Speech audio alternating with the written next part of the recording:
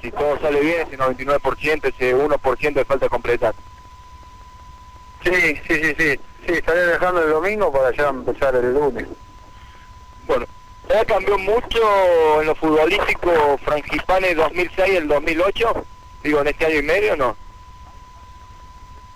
No, no, no, no, no, no, no. La verdad que no. Uno agarra más experiencia, ¿no? Porque si bien no es fácil ir a otro país, eh, adaptarse a lo, al fútbol de allá, a los compañeros, a los climas, a la altura.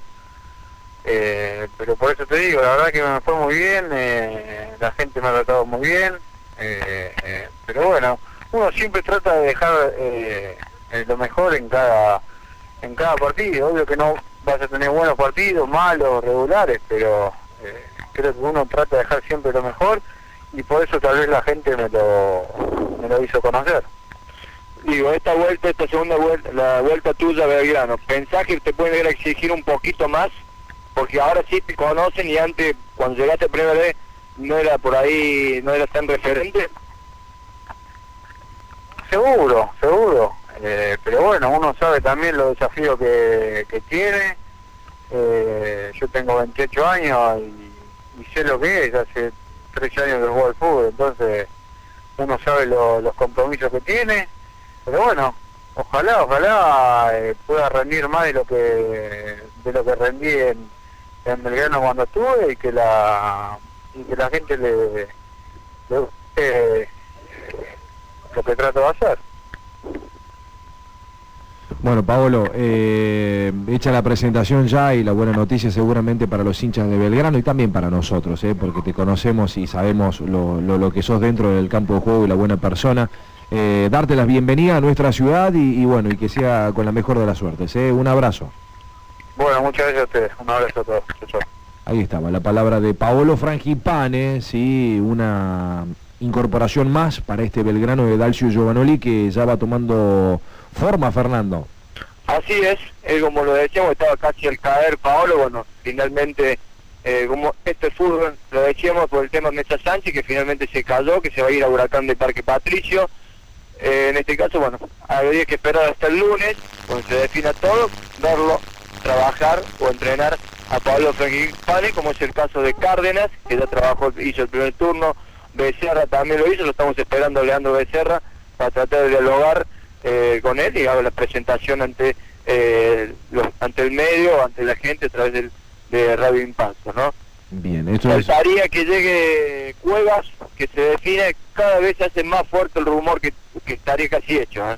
Bien, eh, se habla de la, la compra de la totalidad del pase de Cuevas por allí, Belgrano, Sí. eh, Fernando, sí, ¿no? la totalidad del pase de, de Héctor Cuevas. Bien, esto daría marcha atrás eh, en cuanto a la posibilidad de que jugara préstamo en la primera división con San Martín de Tucumán. Eh, apareció la posibilidad de que Belgrano compre la totalidad del pase y ahí está la cuestión. Así Eh, es, y creo que también vendría el mismo suelo que le hubiesen ofrecido o que le habrían ofrecido en San Martín, ¿no?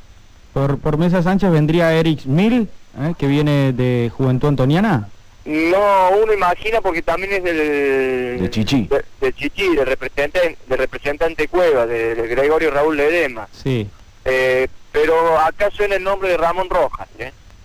el volante central de Platense. Bien.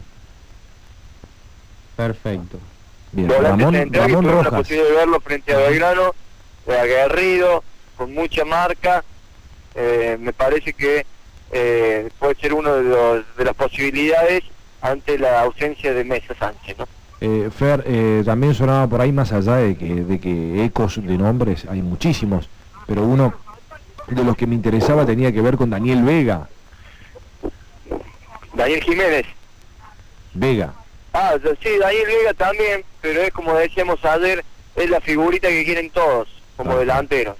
Pero El si que se lo hace lo traiga de me parece que se, en cuanto a delantero, a lo mejor buscarían algún delantero por afuera, ¿no? Teniendo en cuenta que está Busto, Cuevas, por eso me parece que mm, lo más importante es si se hace lo de Cueva, y si no, bueno. Pero sé que fueron a buscarlo a Vega y hay muchos interesa. Creo hasta el mismo Huracán también te interesa Daniel Vega. ¿eh? Sí, sí, es un, es un jugador eh, más que interesante.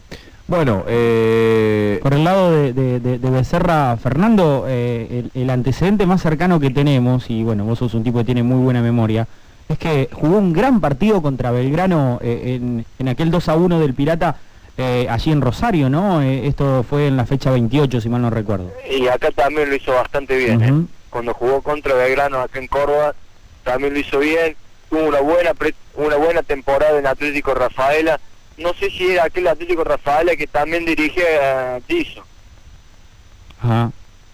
Me parece, me, me- me estoy confundiendo, pero me parece que, no sé si lo habrá dirigido Giso o no, porque también estaba Lázaro en aquel equipo. Creo que alternaban él y, y Lázaro, me parece, Eh, Rafaela, ¿eh? Yo tenía la duda porque eh, sabía que, bueno, Becerra ese partido, si mal no recuerdo, jugó con la 10 contra Belgrano y, y hablábamos y mucho y bien de, de lo que había jugado eh, gran parte del partido eh, este jugador, entonces tenía la duda de que, digo, capaz que por ahí era otro, o era el otro volante, el otro carrilero, eh, pero no, ahora lo estoy confirmando, tengo la formación acá del partido, la síntesis del partido y es